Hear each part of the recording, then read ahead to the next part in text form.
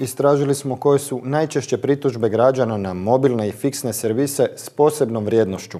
Saznali smo na što sve treba posebno pripaziti kako vas račun ne bi ostavio bez daha. Interaktivni servisi prožimaju se kroz sva područja današnjeg života, a ostavljaju utjecaj na moderno informacijsko društvo. Interaktivni web servisi klasificiraju se kao optimizirani i interaktivni sistemi ili softveri koji omogućavaju korisnicima pristup željenom sadržaju ili nagradnim igrama. Iza njih stoji nekoliko pružatelja usluga, a jedan od takvih je i NTH Media, čija se središnjica nalazi u Švicarskoj, s podružnicama u osam europskih zemalja, pa tako i u Hrvatskoj.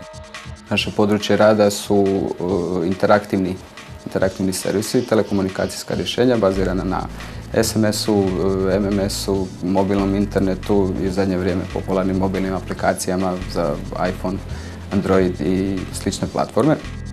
Za izradu interaktivnih servisa potrebna je napredna tehnologija i odlično poznavanje programiranja. Tvrtka NTH Media proizvodi takve servise koje oglašavaju i distribuiraju naručitelji servisa kroz mm, jedan telekomunikacijski e, kanal ostvariti komunikaciju između krajnjeg korisnika i ponuđača, e, ponuđača same, same usluge.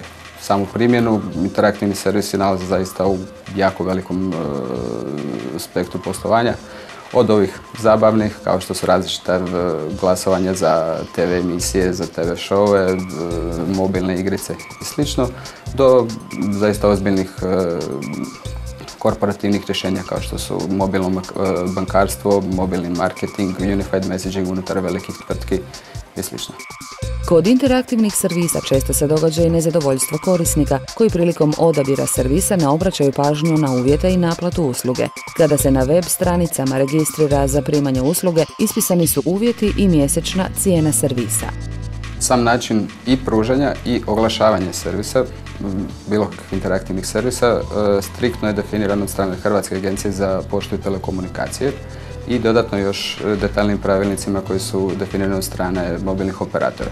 Znači, jasno je definiran način na koji se e, servisi smiju pružiti i isto tako način na koji, na koji se servisi moraju oglašavati. Primjerice, obavezno je ispod svakog broja telefona koji se objavljuje navesti i cijenu poziva ili SMS poruke. Za servise mora biti jasno objašnjeno o kakvom se servisu radi, na koji način se koristi i koja je njegova cijena te upute za deaktivaciju. Korisnici bi prilikom korištenja servisa e, trebali obratiti pažnju što, što zaista piše na, na, na bilo kakvom oglasu. Da li se radi ili o internet stranici ili o e, TV reklami ili nekom oglasu u, u novinama. U oglasu jasno mora biti, moraju biti navedeni sva, sva, sva ova pravila korištenja servisa, a na korisnicima je zaista da bar malo uh, bolje pogledaju i pročitaju ono što, što, što, što piše, kako se ne bi eventualno našli u nekoj situaciji da uh, koriste nešto za što nisu bili svjesni da će eventualno platiti i slično. Na internetu su iznimno česte takozvane navlakuše, odnosno baneri na kojima na primjer piše osvojili ste iPad i da je potrebno samo kliknuti na link kako bi ga doista i dobili. U stvarnosti, klikom na link zapravo se dolazi do nagradnog pitanja i registracije na interaktivni servis Skill to Thrill koji stoji 32 kune tjedno. Od konkretne usluge radi se o e, nagradnom kvizu znanja i brzine gdje e, korisnici prvo odgovaranjem na pitanja na internetu i dalje odgovaranjem na pitanja na e, mobilnom portalu e, imaju priliku osvojiti iPad. Uz to dodatno korisnici dobivaju različite mobilne sadržaje kao što su e, sličice melodije ili, ili java igre. Prema pravilima Hakoma na oglasima se pojavljuje ime NTH Media kao pružatelj tehničke podrške koji pružaju uslugu korisničkog servisa. Na taj broj se mogu javiti svi oni korisnici koji imaju primjedbe, no ukoliko se prije registracije pročitaju pravila i cijene, do problema neće doći.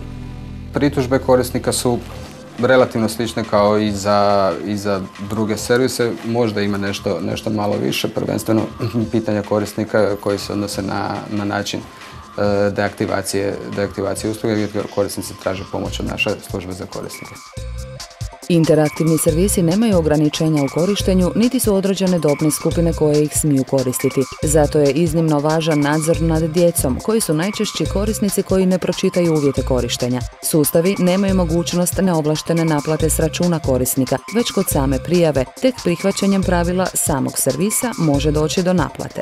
Pazite što potpisujete i na što se prijavljujete. Uvijek čitajte i ona najsitnija slova kako bi se upoznali s pravilima i naplatom.